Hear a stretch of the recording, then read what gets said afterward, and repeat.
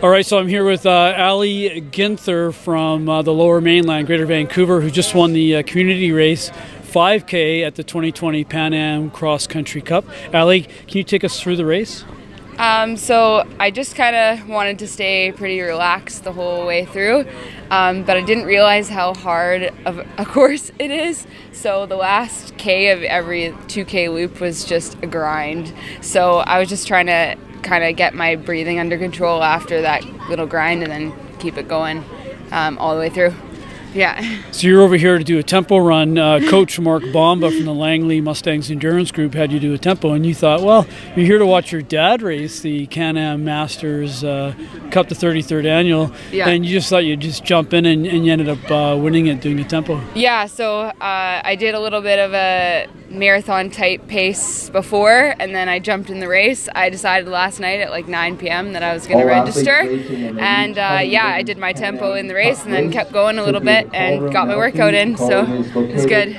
That's great. And then, uh, so you're a you're a 5,000 meter uh, yeah. specialist, and this is perfect. It's a 5K course. Yeah. And uh, so I think your PB is about 16 and change. Is it? 16 40 ish from like two years ago.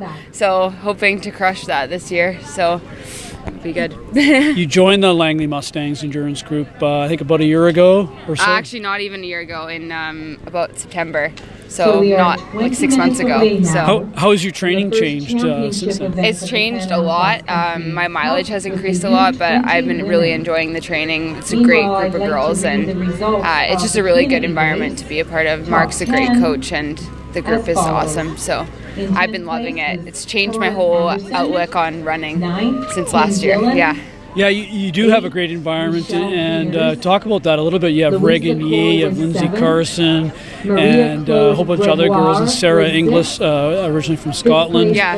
And uh, so, what a great group to work with. Yeah, so they're all like amazing athletes and just amazing people in general, and um, they push me to be my best. And um, I hope that I'm starting to get closer to them in workouts. But um, yeah, they just push me because they're so confident in their um, in their training and they really want to be the best that they can be. So that's kind of what I'm going for too. Yeah. And we're going to see uh, some of your fitness, your new new level of fitness displayed in, in a few weeks at the Yeah. St. Patrick's Day 5K uh, in Vancouver and Stanley Park. So you're going to be racing in that one, yes? Yeah, so that will be my first race um, since Canadian National Cross Country. So it's been a while.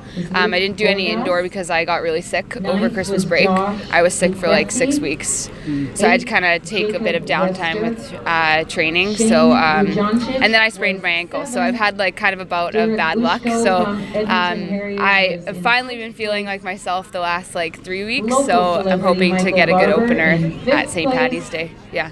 Well, that's great. And then uh, let's make a prediction on how your uh, father is going to do. I hope he does really well.